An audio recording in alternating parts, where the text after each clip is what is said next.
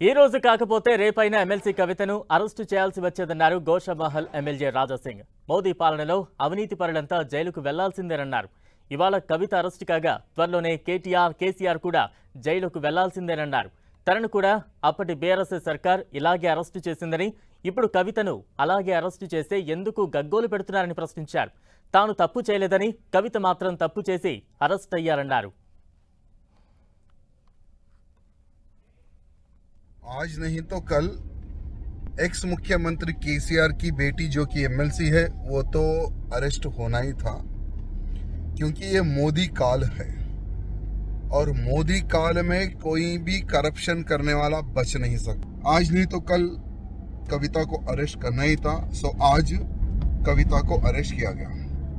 दुर्भाग्य देखिए, जो कविता का भाई है केटीआर, यानी एक्स म्यूनिसिपल मिनिस्टर वो ये कह रहा है कि बिना नोटिस के अरेस्ट किया गया, ऐसा कैसा एक एमएलसी को अरेस्ट करते हैं? तो केटीआर को मैं कहना चाहूँगा, मुझे भी इसी प्रकार से बिना नोटिस के अरेस्ट किया गया था जब तुम्हारी सरकार थी। तो समय बदलता है। कल समय हमारा खराब था, आज समय तुम्हारा खराब है। हमने वो समय पर कोई गलती नहीं थी, गलती नहीं की थी, लेकिन आज तुम्हारी बहन ने बहुत बड़ी गलती की है। चलो, आज बहन गई, कल भाई भी जाएगा और परसों बाप भी जाएगा। आज नहीं तो कल